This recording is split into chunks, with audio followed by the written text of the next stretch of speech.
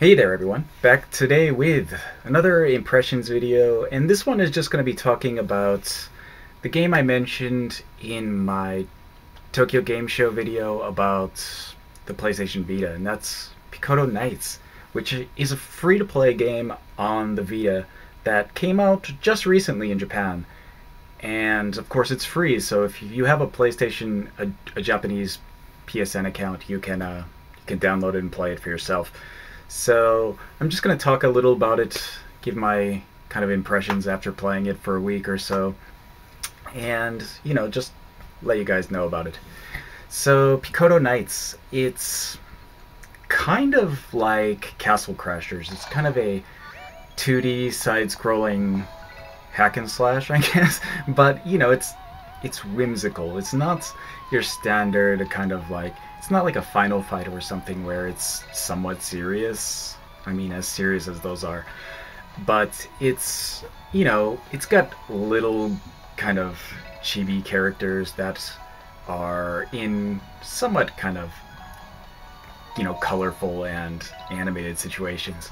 It's not quite as goofy as something like Castle Crashers. There's not like the the you know truckload of poo humor or whatever. It's it's very simple. But I think what Picotto Knights does well is it kind of relies a lot on customization. So, as you can see, like, the video here of the game is kind of uh, just your standard stage. You have lots of different enemies. They're all color-coded by strength. So, depending on the color, will show you how strong they are. And, you know, it get it gets dark. They get brighter in colors, the more dangerous they are. So you'll find that red ones are the strongest, whereas I think blue ones are the weakest. And, you know, another cool thing is that it's four players all the time. You, you're always playing with four people, regardless of if it's people or not. And let me explain that. It's it's an online game. You you have to be connected online to play, I believe. But you're not always playing with four people. It's a lot easier if you actually have four people playing with you, but generally you have you and some other people and maybe no other people, but you'll have th three other characters.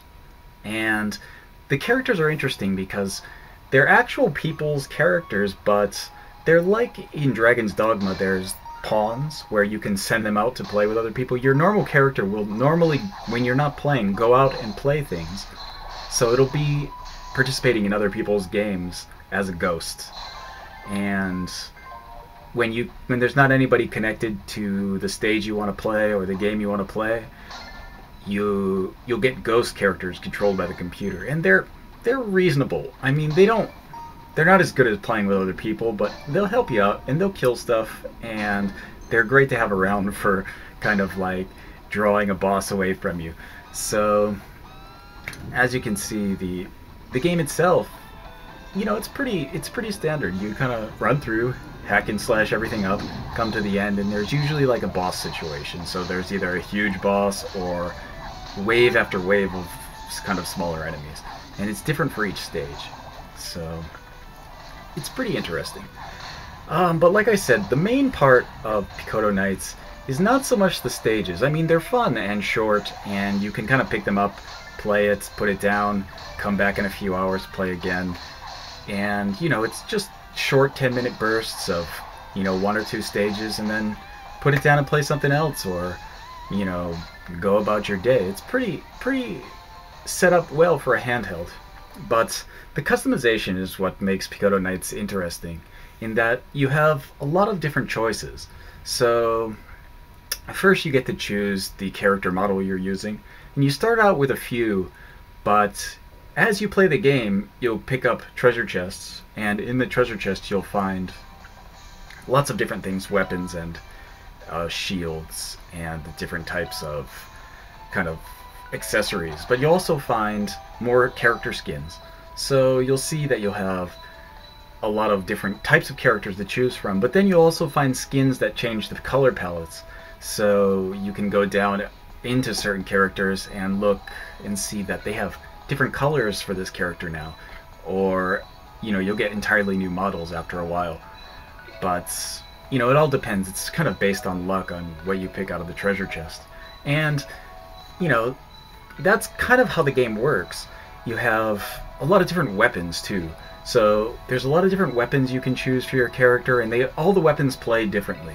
They have you have swords and claws and kind of throwing discs and magic. It's it's pretty varied, and each of those weapons, as you find new ones, you can get different ones with different effects. So you'll have sometimes an electricity an electricity effect that will like kind of slow or stun bosses or regular characters, or you'll get an ice effect that will slow everybody. And it's pretty cool. So after that, you'll get other things like uh, accessories that raise your abilities, and kind of you have above your head always floating is like a kind of an avatar like marker. It's and I don't have that many, but as you can see, uh, uh, there are a few in here. You can see Tor uh, Toro in there, who's like the Sony mascot. But there's also a Kuro if you play now. I haven't unlocked him yet, but eventually I'll get around to it. But uh, beyond that, there's also uh, leveling for the characters. So it's kind of like an action RPG in the sense that you can level up your character and you have a skill tree. So you have a skill tree for your character mainly, and what's cool is that you have a skill tree for each weapon. So you'll find that you can't actually level up on the skill tree every for the same weapon every time. It encourages you to play with different types of weapons because you'll see that the requirements for the things on the skill trees go up by usually levels of a level of five. So you actually can't level up five things in the level when you when you level up that much. So you'll have to use those points on other weapons, or I guess you could save them, but it, it, in the end you'd have too many. So it gives you the option to kind of mix and match how you play, and you know, test out new weapons, which is cool. And you also, of course, have health and like other strength parameters that affect your character in certain ways. So yeah, overall, I'm having a lot of fun with this. It's not something I would play for hours and hours, and you know, it's the kind of thing that it's free, and the only times where you where I find that like you would have to pay is if you're really really interested in playing levels and you're not very good. And when, when I say that, I mean like the only things I find that you can buy are crystals that resurrect you in the stage. So if you die in the stage, you're you're over. You don't lose actually. You don't lose anything if you die. You just don't get the experience for the stage and you know, you just wasted your 2 minutes or whatever that you spent on the stage. That's about it, but you can't resurrect without the crystals which are something you have to pay for. And there's also treasure chests that are large treasure chests. So the large treasure chests require keys and you can find those keys throughout stages and i think you're given a one key a day or something just for logging in.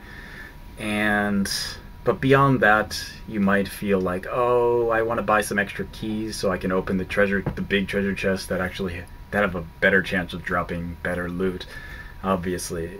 But it's totally unnecessary. If you're going to play a lot of the game you might want to but if you're not if you're just going to play it casually like i am like you know, a couple times a day for five or ten minutes per a stage, then there's no need to buy anything. You can just play the game entirely for free, and it's fun.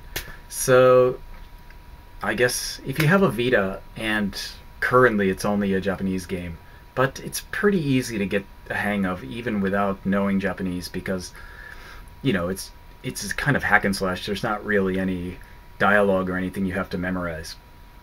So it's free if you have a Japanese PSN account. Look into getting Picotto Knights. It's pretty interesting. And it's fun. So it's fun, kind of wasted time. And, you know, if you if you have a Vita and you don't have anything to play, you know, look into it. It's good stuff. So I guess I'll see you guys next time.